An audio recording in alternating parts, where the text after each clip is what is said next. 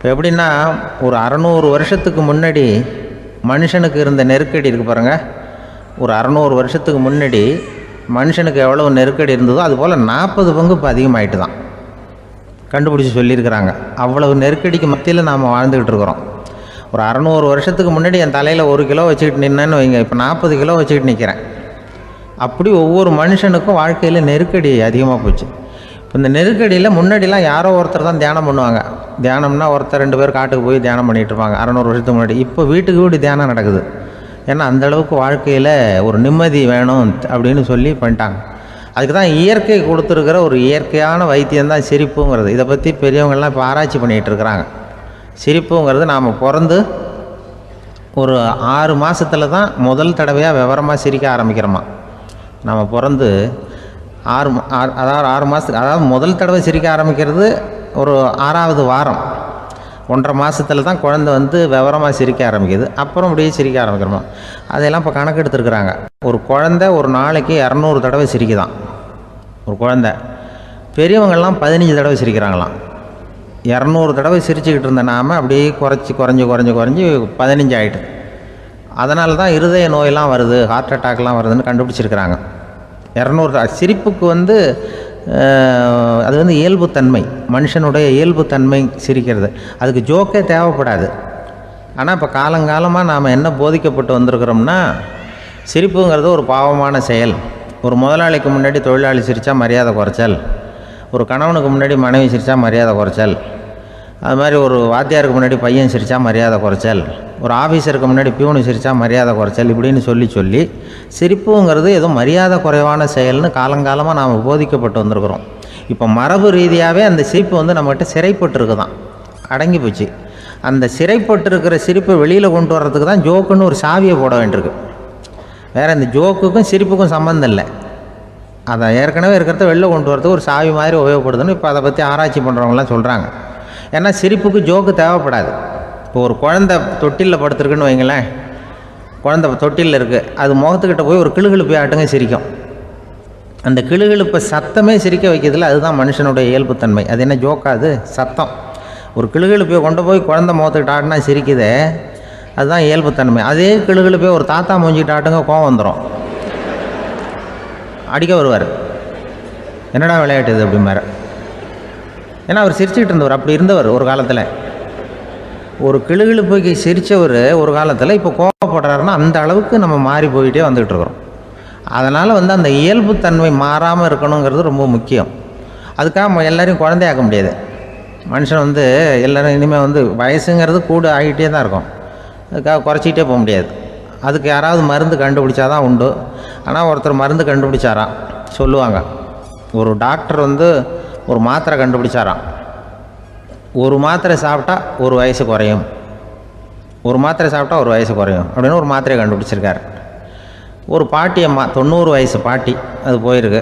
அதே டாக்டர்கிட்ட போய் ஐயா எனக்கு ஒரு பாட்டில் மாத்திரை கொடுங்க.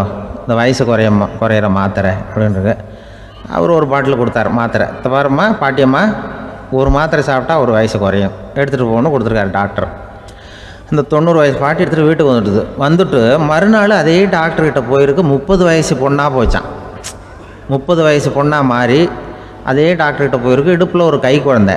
அது சட்டை கிட்ட போடாமல் கெட்டவரில் வாயில் வச்சுட்டு உட்காந்துருக்கு நேராக டாக்டர்கிட்ட போய் டாக்டர் நேற்று வந்தேன்.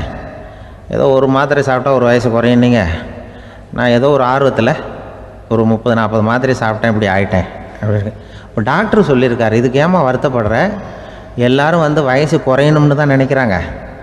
உனக்கு வயசு குறைஞ்சிட்டுது நீ சந்தோஷப்படு. இதுக்கே மறுபடியும் என்னட்ட வந்திருக்கிற அப்படின்னாரான் டாக்டர். அப்போ அந்த அம்மா சொல்லிச்சான் அதை என்னை பற்றி பரவாயில்ல டாக்டர். என் இடுப்பில் பாருங்கள் கை குழந்த. இது சட்டைகிட்ட போடாமல் உட்காந்துருக்கு கட்டவரில் வேலை வச்சுட்டு உட்காந்துருக்கு இது ரொம்ப ஆர்வத்தில் ஒரு எழுபது மாத்திரையை சாப்பிட்டு விட்டுது. இது என் வீட்டுக்காரர். இவர் வந்து இடுப்பு விட்டு கீழே இறங்க மாட்டேங்கிறாரு. நான் எதையாவது கொடுத்து இனிமேதான் வயசை கூட்டி இறக்கி விடுவேன் டாக்டர். அப்படின்னு தான் அவர் வந்து ஏதோ நமக்கும் இதுக்கும் சம்மந்தம் இல்லைங்கிறது மாதிரி கட்டாரில் வச்சுட்டு அவர் பாட்டு உட்காந்துருக்காரு. ஏதோ நமக்கு ச இந்த உலகமே இல்லை நமக்கு சம்மந்தம் இல்லைங்கிற மாதிரி உட்காந்துருக்கார். இப்படியே நான் தூக்கிட்டு எங்கே அலையிறது இதை? அப்படின்னு தான் அதனால் வந்து வயசை குறைக்கிறது இயற்கைக்கு விரோதமாக நாம் பண்ண முடியாது. ஆனால் இந்த இயல்பு தன்மை மாறாமல் வச்சுக்கலாம். குழந்தை மாதிரி மாற முடியாதே தவிர அந்த குழந்தை தன்மையோடு வாழறதுக்கு கற்றுக்கணும் அதுதான் வாழ்க்கையில் இன்பமாக வாழறதுக்கு வழி. குழந்தைத்தனமாக இருக்கக்கூடாது. குழந்தை தன்மையோடு இருக்கணும்னு சொல்லுவாங்க. குழந்தை தன்மைங்கிறது வேற. குழந்தைத்தனம்ங்கிறது வேற. அப்படி ஒரு மாத்திரை கண்டுபிடிச்சிட்டா இப்போ யாராவது ஒருத்தவங்க இடுப்பில் குழந்தைய தூக்கிட்டு போனால் போய் கேட்கணும். ஏம்மா இது ஏன் வீட்டுக்காரரா? உன் குழந்தையா? அப்படின்னு கேட்டு அதுக்கப்புறம் அவருக்கு வணக்கம் சொல்லணும். இப்படிலாம் ஆகிடும் நிலைமை. இயற்கையை வந்து நம்ம மாற்ற முடியாது. அதுக்கு தகுந்தாப்புல தான் நாம் வந்து பண்ணணும். குழந்தை தன்மையோடு வாழறதுக்கு குடும்பத்தில் கற்று குழந்தை தன்மைங்கிறது எப்படின்னா இப்போ ஒரு சில பேருக்கு அந்த குழந்தைத்தன்மை உண்டு. ஒரு வீட்டில் ஒரு புள்ள படுத்துருக்கு அம்மா வந்து எழுப்புறாங்க. காலேஜுக்கு நேரமாச்சு எழுந்திருப்பா. காலேஜுக்கு நேரமாச்சு எழுந்திருப்பா. அப்படின்னு அந்த அம்மா அந்த பிள்ளை சொல்லியிருக்கு ஐயோ எனக்கு காலேஜுக்கு போகிறதுக்கே பிடிக்கலம்மா. என்னை வந்து தொந்தரவு பண்ணாத. காலேஜுக்கு போகிறதுக்கு எனக்கு பிடிக்கல. அப்படின்னு தான் அப்போ அந்த அம்மா சொல்லியிருக்கு ஏன் உனக்கு காலேஜுக்கு போகிறதுக்கு பிடிக்கல? கல்லூரிக்கு போகிறதுக்கு அதுக்கு ரெண்டு காரணம் சொல்லு. அப்படின்னு இருக்கேன். அப்போ அந்த பிள்ளை சொல்லிச்சான் ஏன் பிடிக்கலன்னா கல்லூரியில் இருக்கிற வாத்தியாருக்கும் என்ன பிடிக்க மாட்டேங்குது ஆசிரியர்களுக்கும். ரெண்டாவது காரணம் கல்லூரியில் படிக்கிற மாணவர்களுக்கும் என்ன பிடிக்கல. அதனால் நான் காலேஜுக்கு போக மாட்டேன்ற குழந்தை. இந்த புள்ள சொல்லியிருக்கு. அம்மா வந்து அப்படிலாம் நீ இதுக்காக போகாமல் இருக்கக்கூடாது நீ போய் தான் ஆகணும். அப்படின்னு பிடிவாதமாக அந்த அம்மா பிள்ளைய எழுப்புனாங்களாம். சரி நான் எதுக்கு காலேஜ் போகணும்னு சொல்கிறேன் அதுக்கு நீ ரெண்டு காரணம் சொல்லு. அப்படின்னு தான் அந்த பிள்ளை அப்போ அந்த அம்மா சொன்னாங்களாம் நீ ஏன் காலேஜுக்கு போகணும்னா முதல் காரணம் உனக்கு வயசு 52 ரெண்டு ரெண்டாவது காரணம் நீ தான் பிரின்சிபால் அப்படின்னு தான் என்ன இருந்தாலும் அவங்க அம்மாவுக்கு அது புள்ள தானே. அதுதான் குழந்தை தன்மைங்கிறது. 52 ரெண்டு வயசுலேயும் குழந்தை தன்மையோடு இருக்கார் பாருங்கள் அதுதான். அதுதான் அந்த குழந்தை தன்மையோடு வாழறது தான் வெற்றிக்கு வழின்னு சொல்லுவாங்க. இன்பம் துன்பம் இது ரெண்டும் சேர்ந்தது தான் வாழ்க்கை. இது எல்லாரும் சொல்லிகிட்டு இருக்கிற ஒரு உண்மை. அது சரி இது ரெண்டும் வர்றதுக்கு என்ன காரணம்? துறவி ஒருத்தர் யோசித்து பார்த்துருக்கார். இன்ப துன்பம் தோன்றுவதற்கு முக்கியமாக ஆறு காரணங்கள் உண்டு அப்படிங்கிறார் அவர். அது என்னங்கிறத நாமளும் தெரிஞ்சு வச்சுக்குவோமே. இப்போ முதல் காரணம் சுயநலம். ஒரு தாயார் வந்து தன்னுடைய சுயநலம் கருதி தன்னுடைய மகன் இன்பமாக இருக்கணும்னு ஆசைப்படுறாங்க. மகனும் அப்படியே ஆசைப்படுறான். அதனால் தாயாரின் இன்ப துன்பங்களை பார்த்துட்டு மகனும் இன்ப துன்பம் அடையிறான். அந்த அம்மாவுக்கும் அதே நிலைமை தான். ரெண்டாவது காரணம் உறவு. நான் துறவியான பிறகு கூட உறவுங்கிற காரணத்தினால தான் தாயாருடைய சுக துக்கங்களை கண்டு நானும் சுக துக்கம் அடைகிறேன். என் தாயாருடைய நிலைமையும் இதுதான் அப்படிங்கிறார் ஒரு துறவி. மூணாவது காரணம் என்னென்னா அறிமுகம். எனக்கு அறிமுகமான ஒருத்தரை ரயில் நிலையத்தில் சந்திக்கிறேன். அவர் தன்னுடைய பணப்பையை எங்கேயோ தொலைச்சி விட்டு வருத்தப்பட்டுக்கிட்டு இருக்கிறார். நானும் வருத்தப்படுறேன்.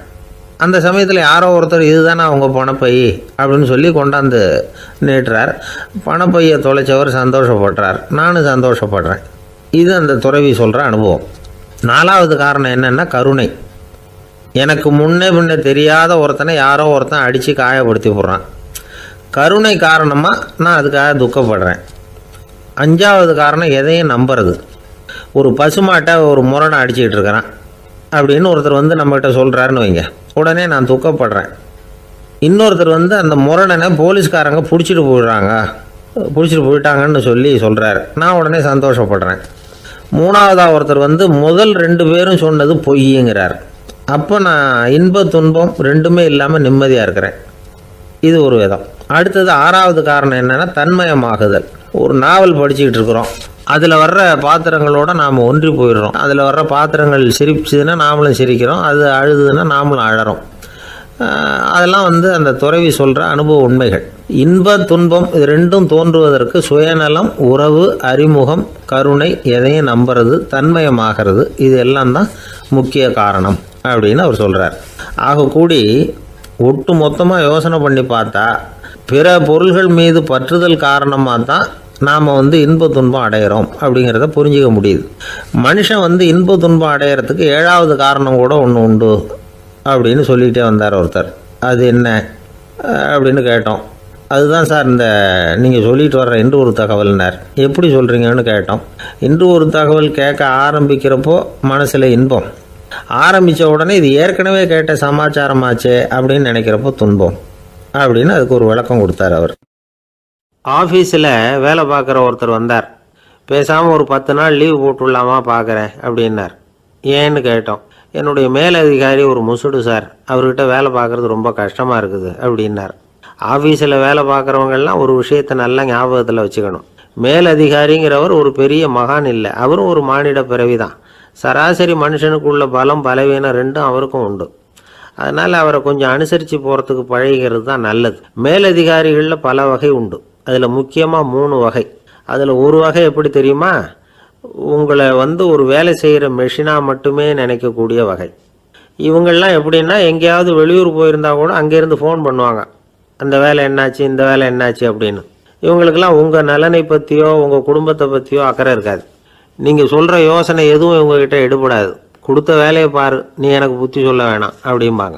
இவங்களை அனுசரித்து போகிறதுக்கு ஒரே வழி இவங்க எதை சொன்னாலும் சரின்னு சொல்லிவிட்டு வேலையை கவனிக்க வேண்டியது தான் இவங்கக்கிட்ட வேற எந்த கேள்வியும் கேட்டுக்கிட்டு இருக்கக்கூடாது. ஆமாம் சாமி போடுறது கௌரவ குறைச்சல் இல்லை. அது ஒரு அலுவலக சௌகரியம். அவ்வளவுதான். இன்னொரு வகையான மேலதிகாரிகள் எப்படி தெரியுமா? இவங்கள்லாம் ஆஃபீஸ் வேலையை பற்றி அதிகமாக கவலைப்பட்டுக்கிட்டு இருக்க மாட்டாங்க. தங்களுடைய சொந்த இமேஜ் பாதிக்கப்படக்கூடாதுங்கிறதுலையே கவனமாக இருப்பாங்க. இவங்கெல்லாம் அடிக்கடி உங்கள் நலனை விசாரிப்பாங்க. அதே மாதிரி நீங்களும் அவரை விசாரிக்கணும்னு எதிர்பார்ப்பாங்க. இந்த ரக அதிகாரிகளுக்கெல்லாம் புது வருட வாழ்த்து அனுப்பலாம் பிறந்தநாள் வாழ்த்து அனுப்பலாம். அவருக்கு எங்கேயாவது ஒரு பாராட்டு விழா நடந்தால் முதல் வரிசையில் போய் உட்காந்து உங்கள் முகத்தை காட்டலாம். ஆஃபீஸ் வேலையை மட்டுமே பார்க்குற பணியாளர்கள் இது மாதிரி அதிகாரிகள்கிட்ட நல்ல பேர் வாங்க முடியாது. இன்னொரு வகையான மேலதிகாரிகள் உண்டு. அவங்க எப்படின்னா ஆஃபீஸ் வேலையை பற்றியும் கவலைப்பட மாட்டாங்க. தனக்கு கீழே வேலை பார்க்குறவங்கள பற்றியும் கவலைப்பட மாட்டாங்க. எக்காரணம் கொண்டும் தன்னுடைய பொசிஷனுக்கு ஆபத்து வந்துடக்கூடாதுன்னே நினைக்கக்கூடியவங்க இவங்க. இவங்களால வந்து கடுமையான வேலை செய்யவும் முடியாது தீர்மானிக்கவும் முடியாது. எந்த முடிவையும் எடுக்காமல் அப்படிலாம் அப்படியே அப்படி அப்படியே தள்ளி போட்டுக்கிட்டே போயிடுவாங்க எல்லாத்தையும். இதனால் என்ன ஆகும்னா இ- இவருக்கு கீழே வேலை பார்க்குற உங்களுக்கு பொறுப்பு அதிகமாகிடும் இவங்ககிட்ட போய் பிரச்சனையை மட்டும் சொல்லி பிரயோஜனம் இல்லை அதுக்கான முடிவுகளை நீங்களே சொல்லணும். அப்போ தான் இது மாதிரி அதிகாரிகள்கிட்ட நல்ல பேர் வாங்கலாம். அட்லீஸ்ட் கெட்ட பேர் வாங்காமலாவது காலம் தள்ளலாம். ஆஃபீஸில் வேலை பார்க்குறவங்க முக்கியமாக சில விஷயங்களை ஞாபகத்தில் வச்சுக்கணும். ஆஃபீஸில் நடக்கிற நல்லது கெட்டது எதுவாக இருந்தாலும் உடனடியாக மேலதிகாரிகிட்ட தெரிவிக்கிறது நல்லது. மூன்றாவது மனிதர் மூலமாக அதை அவர் தெரிஞ்சுக்கிறது அவ்வளவு நல்லதில்லை. எந்த மேல் அதிகாரியுமே தான் வந்து இந்த சர்பாஸ் செய்யப்படுறத விரும்புறதில்லை. அதனால் அவருக்கு தெரியாமல் மேலிடத்துக்கு மணி எழுதி போடக்கூடாது. அப்படி எழுதி போடுறவங்க சில பேர் இருக்கிறாங்க. நீங்களும் உங்கள் மேலதிகாரியும் தொழில் ரீதியாக ஒரே படிப்பு படித்தவராக இருக்கலாம். அப்படி இருந்ததுன்னா அட்ஜஸ்ட் பண்ணி போகிறது கொஞ்சம் கஷ்டம்தான். இதை மனசில் வச்சுக்கிட்டு நடந்துக்கணும். உங்களுக்கும் அவருக்கும் அபிப்பிராய பேதமா? அது அவருக்கும் உங்களுக்கும் உள்ள தனிப்பட்ட பிரச்சனை. அதை வந்து விளம்பரப்படுத்திக்கிட்டு இருக்கக்கூடாது அது அவருடைய கோபத்தை கிளறும். உங்கள் மேலதிகாரி உங்கள் கூட படித்தவராக இருக்கலாம். அதுக்காக அவர் எல்லாருக்கும் முன்னாடி அடைய கிச்சாமி எப்படிடா இருக்க? அப்படின்லாம் கேட்டுக்கிட்டு இருக்கக்கூடாது பொதுவாக யாரும் அதை விரும்புறதில்ல. இவ்வளவையும் உங்கள் மனசில் வச்சுக்கிட்டு கொஞ்சம் சாமர்த்தியமாக நடந்துக்கிட்டீங்கன்னா ஆஃபீஸ் வந்து உங்களுக்கு அவஸ்தையாக இருக்காது ஆனந்தமாக இருக்கும். ஒரு மேலதிகாரி தன்கிட்ட வேலை பார்க்குற ஒருத்தரை பற்றி ரொம்ப பெருமையாக சொன்னாராம். எங்கள் ஆஃபீஸில் எவ்வளவோ பேர் வேலை பார்க்குறாங்க. எல்லாரும் தினமும் வந்து ஏதாவது பிரச்சனைகளை சொல்லிகிட்டு இருப்பாங்க. ஆனால் இவர் ஒருத்தர் மட்டும்தான் இது வரைக்கும் என்கிட்ட வந்து எந்த பிரச்சனையும் சொன்னதே இல்லை. அவர் பாட்டுக்கு வருவார் வேலை பார்ப்பார் போயிடுவார் அப்படின்னாராம். நான் உடனே அவ்வளவு பெருமைக்குரிய அந்த ஊழியரை பார்த்து கேட்டேன். ஏன்பா உன்னுடைய மேலதிகாரிகிட்ட நீ எந்த பிரச்சனையும் கொண்டுகிட்டு போகிறதே இல்லையாமே அப்படின்னு கேட்டேன். அதுக்கு அவர் சொல்கிறாரு ஆமாங்க. அது ஏன்னா அவரால் எந்த பிரச்சனையுமே தீர்க்க முடியாதுங்கிறது எனக்கு நல்லா தெரியும். அதனால் அப்படி செய்கிறேன் வேற ஒன்றும் இல்லை அப்படின்னார். ரொம்ப பொறுமையாக ஒரு கடற்கரை ஓரம் அங்கே ஒரு சின்ன கிராமம். அந்த கிராமத்தில் ஒரு சின்ன பள்ளிக்கூடம். கடற்கரை ஓரத்தில் உள்ள ஒரு விடுதியில் ஓய்வுக்காக ஒருத்தர் வந்து தங்கியிருக்கிறார். பள்ளிக்கூடத்தில் ஏதோ விழா நடக்கிறது மாதிரி தெரிஞ்சுது. உடனே அவர் அந்த பக்கமாக வந்தார். இங்கே என்ன நடக்குதுன்னு விசாரித்தார் பள்ளி ஆண்டு விழா நடக்குதுன்னாங்க. உடனே போனார். கண்காட்சி ஒன்று வச்சுருந்தாங்க. உள்ளே போய் பார்த்தார்.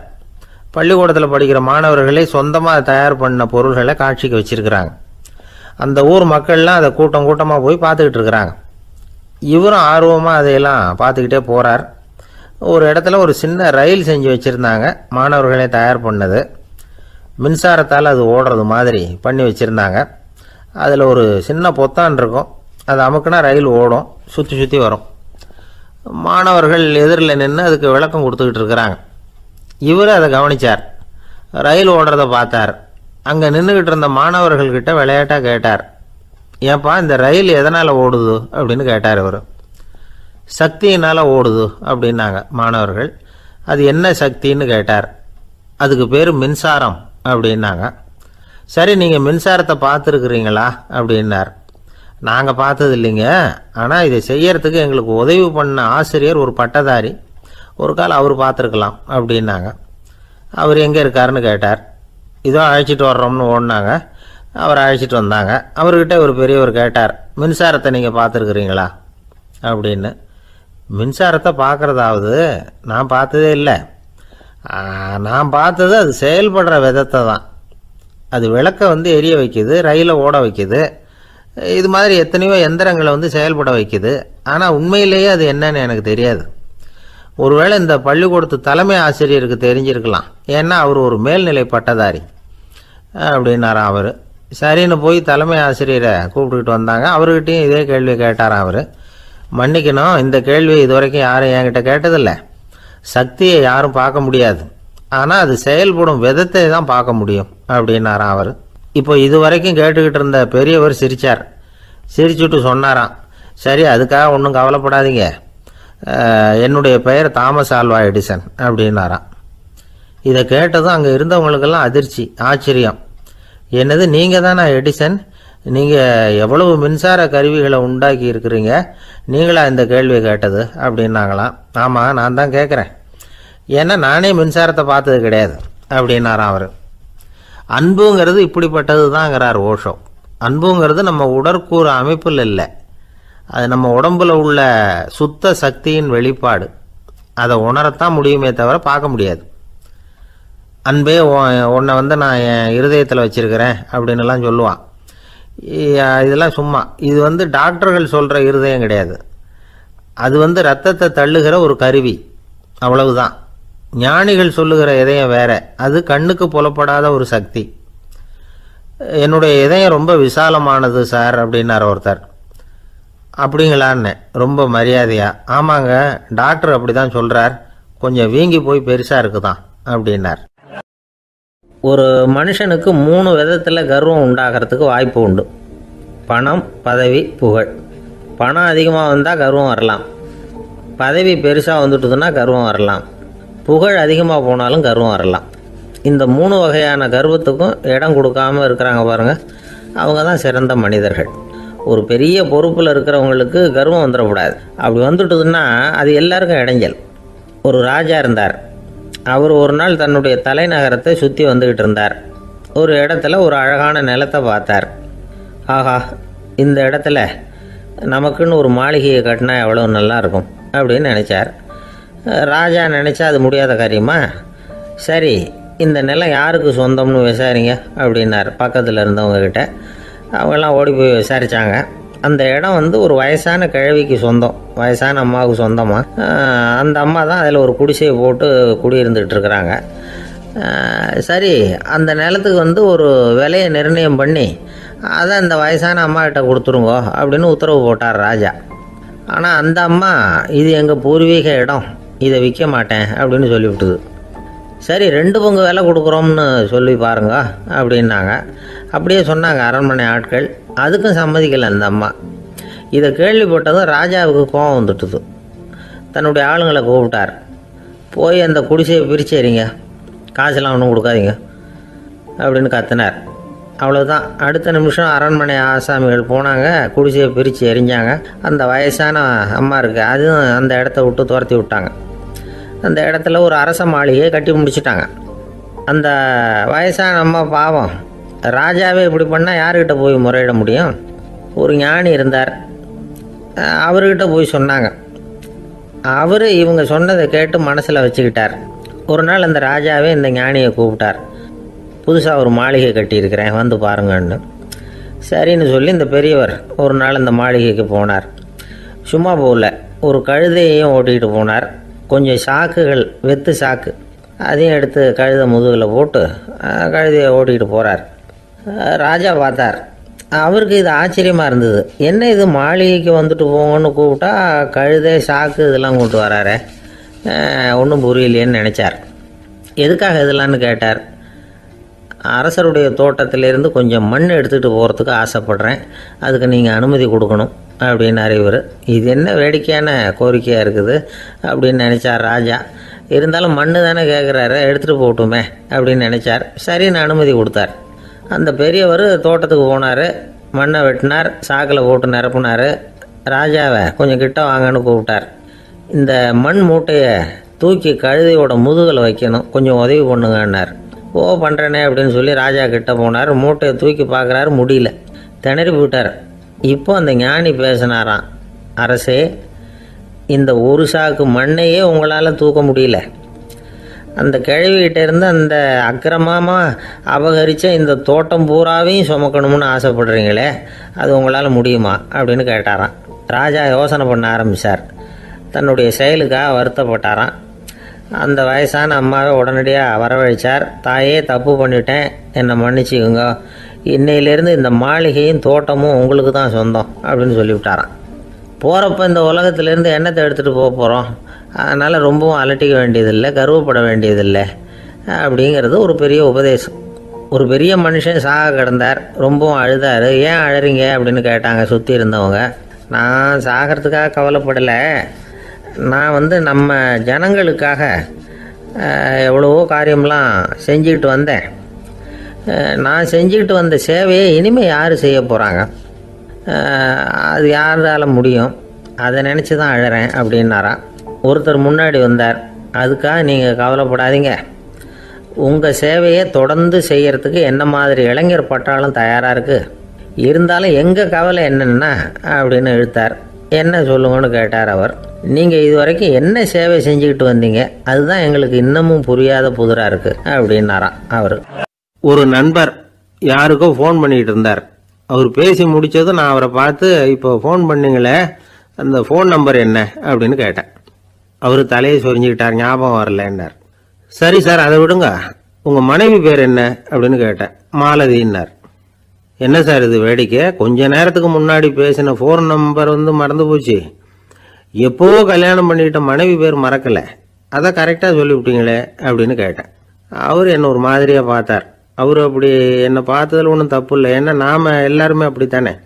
ஒரு குறிப்பிட்ட காரியத்துக்காக தொலைபேசியில் ஒருத்தட்ட பேசுகிறோம் அதுக்கப்புறம் அந்த எண் வந்து நமக்கு அனாவசியம். அதனால் மறந்துடுறோம். இதுக்கு பேர் தான் தற்காலிக ஞாபகம். ஆனால் மனைவி பேரை வந்து மறந்துட முடியுமா? முடியாது. அது வந்து அவசியமான ஒன்று அடிக்கடி அந்த பேரை வந்து உபயோகப்படுத்துகிறோம் அதனாலேயும் அது வந்து முக்கியங்கிறதுனாலேயும் அதை மறக்கிறது இல்லை இதுக்கு பேர் நிரந்தர ஞாபகம். சரி இந்த தற்காலிக ஞாபகம் நிரந்தர ஞாபகம் இது ரெண்டு ஞாபக அளவுகளையும் கட்டுப்படுத்துறது எது? அப்படின்னா மூளைக்குள்ள நடக்கிற மின்சார நடவடிக்கைகள் தான். தற்காலிக ஞாபகம் ஒரு மின்னல் மாதிரி தோன்றி மறையுது. நிரந்தர ஞாபகம் ஒரு படிவம் போல மூளையில படிஞ்சுடுது.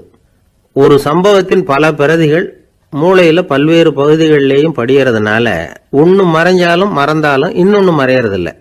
இப்படிப்பட்ட நிலைமையில தான் இந்த தொண்டையில் இருக்கு வாயில் வரமாட்டேங்குது சார் அப்படிமா ஒருத்தருக்கு எந்த துறையில் ஆர்வமும் ஈடுபாடும் அதிகமோ அது சம்பந்தமான ஞாபக சக்தி அதிகமாக இருக்கும். தொழிலை விரும்புகிற ஒரு டெலிஃபோன் ஆப்ரேட்டருக்கு எண்கள்லாம் நல்ல ஞாபகம் இருக்கும். அது மாதிரி கவிஞர்களுக்கு வார்த்தைகள் நல்ல ஞாபகத்தில் இருக்கும். இது ஒரு பக்கம் இருந்தாலும் ஒரு மூளை வந்து எண்களை விட எழுத்துக்களை விட படங்களை ரொம்ப சுலபமாக ஞாபகத்தில் வச்சுக்குது. புரிஞ்சுக்கிற தன்மை அனுபவம் புத்தி கூர்மை இது கூடி குறையிறத பொறுத்து ஞாபக சக்தியும் ஏறும் இறங்கும். இப்போ உதாரணத்துக்கு ஒரு பையனுக்கு படித்தது எதுவும் ஞாபகத்தில் இல்லைன்னா அவன் அதை சரியாக புரிஞ்சுக்கலன்னு அர்த்தம். இந்த மறதிங்கிறது எந்த சமயத்தில் ஒரு பிரச்சனை ஆகுது தெரியுமா? உங்களுக்கு வேண்டியப்பட்ட ஒருத்தரை ஞாயிற்றுக்கிழமை சாயந்தரம் சரியாக அஞ்சு மணிக்கு கடற்கரைக்கு வர சொல்லிவிட்டு அந்த நேரத்தை மறந்துவிட்டா அது பரவாயில்ல. வர சொன்னதையே மறந்துவிட்டா தான் நிலைமை மோசம்னு அர்த்தம். இப்படி இருந்தால் இது வந்து சிகிச்சை எடுத்துக்க வேண்டிய நிலைமைங்கிறத புரிஞ்சுக்கணும். ஆமாம் இதுக்கும் மருந்து இருக்குது ஆனால் மூளை வந்து குறிப்பிட்ட அளவுக்கும் கீழே இயங்குறப்போவோ இன்னொன்று சொல்லுவாங்க இந்த நீரோ டிரான்ஸ்மிட்டர் அப்படின்னு சொல்லுவாங்க. அப்படிங்கிற மூளை ரசாயனம் ரொம்பவும் குறைஞ்சி போகிறப்போ மட்டும்தான் உபயோகப்படும். டாக்டர் என்ன சொல்கிறாங்க தெரியுமா? மூளையை பொறுத்த வரைக்கும் அதில் ஞாபக சக்தி அதிகமாக உள்ள மூளை மறதி உள்ள மூளை அப்படின்னு ஒன்றும் கிடையாது. அப்படிங்கிறாங்க. நினைவு வச்சுக்கிறதுக்கு பயிற்சி அளிக்கப்பட்ட மூளை பயிற்சியற்ற மூளை அப்படின்னு வேணும்னா சொல்லலாம் அப்படின்னு சொல்கிறாங்க அதனால் நம்ம ஞாபக சக்திங்கிறது நம்மக்கிட்ட இருக்கிற பயிற்சி முயற்சி இதை பொறுத்து தான் அமையும். ஒருத்தர் ஒரு பென்சிலை எங்கேயோ வச்சுக்கிட்டு தேடிக்கிட்டு இருந்தார். அப்புறம் என்னமோ தீவிரமாக யோசனை பண்ணி அதை ஞாபகப்படுத்தி பார்த்துக்கிட்டு இருந்தாராம். எதிரில் உட்காந்துருந்தவர் சொன்னார் பென்சிலை தானே தேடிக்கிட்டு இருக்கீங்க? அது உங்கள் வலது காதில் இருக்குது சார் அப்படின்னாராம் அவர். இதுக்கு அவர் சொல்லியிருக்காரு பென்சிலை வந்து வலது காதில் தான் வச்சுருக்கேங்கிறது எனக்கு நல்லா ஞாபகம் இருக்குது ஆனால் எது வலது காதுங்கிறது தான் மறந்து போச்சு அப்படின்னாராம். அவர் அதை தான் யோசிச்சுட்டு இருந்திருக்கிறார். கடற்கரை ஓரமாக ஒரு பெரியவர் கையால் மணலை கீறிக்கிட்டே உட்காந்துருக்கிறார் என்னத்தையும் தேடிட்டு இருக்கிறது மாதிரி தெரிஞ்சது. மெதுவா கிட்டத்துல போய் என்னத்தை தேடிட்டு இருக்கிறீங்க? அப்படின்னு கேட்டோம். அவரு சாவகாசமா நிமிந்து பார்த்து நிம்மதியை தேடிட்டு இருக்கிறேன்னார் நாங்க ஒரு மாதிரி ஆயிட்டோம். இருந்தாலும் சமாளிச்சுக்கிட்டு சார் மணல்ல வந்து கிழிஞ்சல் தான் கிடைக்கும். நிம்மதி கிடைக்காது. அப்படின்னோம். சரி இன்னைக்கு வசமா நம்ம கிட்ட ஒரு ஆள் மாட்டிக்கிட்டார் அப்படின்னு நினைச்சு அவர் பக்கமா போய் உட்காந்துக்கிட்டு கதை சொல்ல ஆரம்பிச்சிட்டோம். ஒரு பெரிய மன்னர் இருந்தார். அவருக்கு எல்லா வசதியும் இருந்தது. இருந்தாலும் ஒரே ஒரு குறை. அது என்னன்னா நிம்மதி இல்லைங்கிற குறை. அரண்மனையில தினமும் கலை நிகழ்ச்சி நாட்டியம் எல்லாம் நடந்துகிட்டு தான் இருந்தது. இருந்தாலும் நிம்மதி இல்லை. சரி நிம்மதி எங்க கிடைக்கும் அப்படின்னு தேட ஆரம்பிச்சார். உடனே அதுக்கான முயற்சிகள்ல தீவிரமா இறங்கினார். நாட்டில் உள்ள தத்துவ மேதைகளை எல்லாம் கூப்பிட்டுட்டு வர சொன்னார். எல்லாரும் வந்து சேர்ந்தாங்க. அவங்கள பார்த்து நிம்மதி எங்க இருக்குது? அப்படின்னு விசாரிச்சார். அவங்களுக்கு அது தெரிஞ்சா ஏன் இப்படி ராஜா முன்னாடி வந்து நின்றுட்டு இருக்க போறாங்க? ராஜாவோட கேள்விக்கு ஒவ்வொருத்தரும் ஒவ்வொரு மாதிரி விளக்கம் கொடுக்க ஆரம்பிச்சிட்டாங்க. எந்த பதிலும் ராஜாவுக்கு திருப்தி அளிக்கக்கூடிய அளவுக்கு இல்லை. சரி போயிட்டு வாங்கன்னு சொல்லி அவங்கள எல்லாம் அனுப்பி வச்சுட்டார். ஒரு நாள் அவர் மாளிகையில உப்பருகையில நின்றுட்டு இருக்கிறார். அந்த சமயத்துல தெருவில் ஒரு பிச்சைக்காரன் ரொம்ப உல்லாசமா பாட்டு பாடிக்கிட்டே போயிட்டு இருக்கிறான். குரல்ல ஒரு சந்தோஷம் நடையில ஒரு மிடுக்கு. அவன்கிட்ட கொஞ்சம் கூட கவலை இருக்கிறதா தெரியல. உடனே ராஜா அதை பார்த்தார். ஏவலாளிகளை வந்து கைதட்டி கூப்பிட்டார். உடனே ஓடி போய் அந்த பிச்சைக்காரனை இங்கே அழைச்சிட்டு வாங்கன்னு உத்தரவு போட்டார். இவங்க உடனே ஓடி போய் அவனை கூப்பிட்டாங்க. அரண்மனைக்கு வாழ்ந்தாங்க அவன் வரல. அரண்மனைக்குள்ள அடி எடுத்து வைக்க மாட்டேன்னு சொல்லிவிட்டான். ராஜா கிட்ட வந்து விஷயத்தை சொன்னாங்க. அவருக்கு ரொம்ப ஆச்சரியம். இப்படி ஒரு ஆள் இருக்கிறானா அப்படின்னு. சரி அவன் என்னதான் சொல்றான் அப்படின்னு விசாரிச்சார். இவன் மறுபடியும் தெருவுக்கு போய் கேட்டாங்க. என்னை பார்க்கணும்னா ராஜா விருப்பப்பட்டாருன்னா அவரை வேணும்னா இங்கே வர சொல்லுங்க அப்படின்னு சொல்லிவிட்டான். அதை வந்து ராஜா கிட்ட சொன்னாங்க. அவருக்கு கோபம் வரல. இவ்வளவு சுதந்திர உணர்வோடு இருக்கிறவன் சாதாரண ஆளாக இருக்க முடியாது அப்படின்னு நினைச்சார். உடனே கிடுகிடுன்னு இறங்கி தெருவுக்கு வந்தார் பிச்சைக்காரங்கிட்ட போனார். நீ கவலைப்படாம சந்தோஷமா பாடிக்கிட்டு போறிய அது எப்படி முடியுது உன்னால அப்படின்னு கேட்டார். ஏன் அப்படி கேக்குறீங்கன்னு அவன் அதுக்கு இல்லை எனக்கு அரண்மனையில் எவ்வளவோ சுகபோகங்கள்லாம் இருக்கு. இருந்தாலும் நிம்மதி இல்லை. இது ஏன்னு எனக்கு தெரியல. இந்த தேசத்தில் உள்ள அறிஞர்களை எல்லாம் கூப்பிட்டு கேட்டு பார்த்துட்டேன். அவங்களுக்கும் தெரியல. உன்னை கேட்டால் தெரியும்னு நினைச்சேன். அதனாலதான் சந்திக்கிறதுக்கு ஆசைப்பட்டேன். ஆனால் நீ வரமாட்டேன்னுட்டிய அப்படின்னார். பிச்சைக்காரன் கடகடன்னு சிரிக்க ஆரம்பிச்சிட்டான். மகிழ்ச்சிக்கும் உங்களுக்கும் தடையா இருக்கிறது இந்த மாளிகை தான். இதை விட்டுட்டு வெளியில வந்துட்டா நிம்மதி தேடிட்டு வந்துடும்னா நான் அரசன் எனக்குன்னு கடமைகள் இருக்கு. அதையெல்லாம் விட்டுட்டு எப்படி வர முடியும்னார் ராஜா. ரெண்டும் ஒரே நேரத்தில் கிடைக்கணுங்கிறது முடியாத காரியம். உங்க சுகபோகத்துக்கு விலையாதான் உங்க நிம்மதியை கொடுத்துக்கிட்டு இருக்கிறீங்க. என்ன பாருங்க என்கிட்ட எதுவும் இல்லை. அதனால எதுவும் போயிடுமோங்கிற பயமும் இல்லை. நிம்மதியா இருக்கிறேன் அப்படின்னா அவன். ராஜா உடனே சந்தோஷப்பட்டு தன்னுடைய மேலங்கியை எடுத்து அவனுக்கு பரிசா கொடுத்தாரான் அவன் சிரிச்சுக்கிட்டே அதை வாங்க மாட்டேன்னு விட்டானான் இதை நீங்க எனக்கு கொடுக்கறதுனால எந்த பயனும் இல்லை. அதே நேரத்தில் அதை வாங்கிட்டேன்னா அடுத்த வினாடியிலிருந்து அதை எப்படி காப்பாத்துறதுங்கிற கவலை எனக்கு வந்து சேர்ந்துரும். அப்புறம் தூக்கம் வராது. நிம்மதி போயிடும் அப்படின்னு சொல்லிவிட்டு அவன் பாட்டுக்கு சந்தோஷமா பாடிக்கிட்டே போயிட்டான். நிம்மதி எங்க இருக்குங்கிறதையும் ராஜா தெரிஞ்சுக்கிட்டார். அந்த இடத்துக்கு தன்னால போக முடியாதுங்கிறதையும் அவர் புரிஞ்சுக்கிட்டார். இப்படி இந்த கதையை அந்த கடற்கரையில மணலை கீறிக்கிட்டே உட்காந்துருந்தார அந்த பெரியவர்கிட்ட சொல்லி முடிச்சோம். அவர் முகத்துல ஒரு தெளிவு தெரிஞ்சது. எங்களை நிமிந்து பார்த்தார். ரொம்ப நன்றிங்க. இப்ப எனக்கு தெரிஞ்சு போச்சு. நிம்மதி வேணும்னா அதுக்கு என்ன பண்ணணும்னு இப்ப நல்லா புரிஞ்சுக்கிட்டேன் அப்படின்னார். என்ன புரிஞ்சுக்கிட்டீங்கன்னு கேட்டோம். இனிமே இந்த பக்கம் வந்தா உங்க கண்ணுல படாத இடமா பார்த்து உட்காரணும்னு புரிஞ்சுக்கிட்டேன் அப்படின்னார். ஒரு நண்பர் சினிமா படம் தயாரிக்கிறவர். அவர்கிட்ட ஒரு நாள் பேசிக்கிட்டு இருந்தேன். அது எப்படி சார்? நீங்கள் எடுக்கிற எந்த படமும் கையை கடிக்காத அளவுக்கு எடுத்துடுறீங்களே? அது எப்படின்னு கேட்டேன். அது ஒன்றும் பெரிய விஷயம் இல்லை சார். பெண்களுக்குன்னு சில உருக்கமான காட்சிகள் இளைஞர்களுக்குன்னு சில நடனங்கள் அடிதடி காட்சிகள் அப்புறம் வயசானவங்களுக்குன்னு சில ஆன்மீக காட்சிகள் சின்ன பிள்ளைங்களுக்கு சிரிப்பு. இப்படி எல்லாமும் சேர்த்து நான் படம் எடுக்கிறேன். மசாலா படம்னு பேர். இது ரொம்ப பெருசாக இல்லைன்னாலும் ஓரளவுக்கு சுமாராக ஓடிரும். கையை கடிக்காது அப்படின்னார். இது ஒரு உத்தி. சில பத்திரிகை ஆசிரியர்களும் இந்த உத்தியை கையாளுறது உண்டு. இந்த உத்திக்கு பார்னம் உத்தி அப்படின்னு பேர். பார்னம் எஃபெக்ட் அப்படின்னு சொல்லுவாங்க. அதாவது ஃபீனியஸ் டி பார்னம் அப்படின்னு ஒருத்தர் அமெரிக்காவில் இருந்தாராம். அதாவது பத்தொம்போதாம் நூற்றாண்டில் அமெரிக்காவில் கொடிகட்டி பறந்த ஒரு சர்க்கஸ் நிறுவனத்தின் அதிபர் அவர். இந்த உலகத்தில் ஒவ்வொரு நிமிஷமும் ஒரு ஏமாளி பறந்துக்கிட்டே இருக்கிறான் அப்படிங்கிறது அவருடைய சித்தாந்தம். ஒவ்வொருத்தரையும் திருப்திப்படுத்துகிற அளவுக்கு அம்சங்களை கொஞ்சம் கொஞ்சமாக கலந்து கேளிக்கை நிகழ்ச்சிகளை நடத்தினது தான் அவருடைய மகத்தான வெற்றிக்கு காரணம். அதனால் அந்த உத்தியை யார் கடைப்பிடிச்சாலும் சரி அதுக்கு பாரணம் உத்தி அப்படின்னு பேர் வந்துட்டுது. ஜோசியம் சொல்கிறவங்களுக்கும் இந்த உத்தி தான் கை கொடுக்குது. ஒரு விஷயத்த ஒருத்தருடைய கோல் நிலைகள் அல்லது கையெழுத்து நிரூபிக்கிறதாக அவர்கிட்ட சொன்னால் அதை அவர் நம்பிவிடுவார். ஆனால் அந்த விஷயம் நல்லதாக இருக்கணும் நேர்மையானதாக இருக்கணும் அதாவது பாசிட்டிவாக இருக்கணும். எட்டாம் இடத்துல குரு ஒன்பதாம் இடத்துல சனி நீங்கள் ஒரு பெரிய மேதை தான் அப்படின்னு சொல்லுவாங்க. கேட்குறவங்களுக்கு அதை மறுக்கிறதுக்கு மனசு வராது. அப்படி சொல்லும் பொழுது கூடவே என்ன கொஞ்சம் முன்கோபம் அதிகமாக இருக்கும் இருந்தாலும் அது உடனே மறைஞ்சிரும். அப்படின்னு சில அற்ப விஷயங்களையும் சொன்னாலும் அதையும் சரிதான்னு சொல்லி ஒத்துக்குவாங்க. ஆளுமையை எடை போடுகிற ஒரு நிறுவப்பட்ட உத்தியின் மூலமாக தன்னுடைய குணாதிசயங்கள் கண்டுபிடிக்கப்பட்டதாக அவர் நம்புறது தான் இதுக்கு காரணம். இந்த மாதம் பணத்தட்டுப்பாடு கொஞ்சம் இருக்கும் உடம்புல ஏதாவது கொஞ்சம் அசௌகரியம் இருக்கும் வீட்டுக்குள்ளே லேசாக மனஸ்தாபம் வரலாம். இது மாதிரி பொதுப்படையாக சிலதை சொன்னாலே போதும் மக்களை நம்ப வச்சுடலாம். இதெல்லாம் நமக்கு மட்டும்தான் ஏற்படுது அப்படின்னு சொல்லி அவங்க நினைக்கிறது தான் காரணம். இதுதான் பாரணம் உத்திங்கிறது மனிதர்கள் வந்து பாராட்டுகளை விரும்புகிறதும் விமர்சனங்களை வெறுக்கிறதும் பாரணம் உத்தியின் அடுத்த கூறு. அதனால் ஒருத்தருக்கு ஜோசியம் சொன்னாலும் சரி அவருடைய ஆளுமையை மதிப்பிடுறதாக இருந்தாலும் சரி அவரை புகழற மாதிரி இருந்தாலும் சரி அப்படி இருந்தால் தான் அது சரியாக இருக்கும். சாதகமான விஷயங்களை வந்து அதிகமாகவும் பாதகமான விஷயங்களை நாசூக்காகவும் சொன்னால் மக்கள் வந்து அதை நம்பிவிடுவாங்க ஒருத்தரை கருமின்னு சொன்னால் ஏற்றுக்க மாட்டார். அதையே கொஞ்சம் மாற்றி நீங்கள் கொஞ்சம் சிக்கனமான ஆசாமி அப்படின்னு சொன்னால் நீங்கள் சொல்கிறது சரிதான் சார் அப்படிம்பார். நீங்கள் பெரிய செலவாளி தான். இருந்தாலும் நல்ல விஷயங்களுக்கு தான் செலவழிப்பீங்க அப்படின்னு சொல்லணும். இப்படி இந்த பாரணம் கடைபிடிச்சி இன்னைக்கு வெற்றிகரமாக காலம் தள்ளுறவங்க நிறைய பேர் இருக்கிறாங்க. இந்த உலகத்தில் ஒவ்வொரு நிமிஷமும் ஒரு ஏமாளி பறந்துக்கிட்டே இருக்கிறான் அப்படிங்கிறது தான் ஃபீனியஸ் பார்னம் அவர்களுடைய நம்பிக்கை.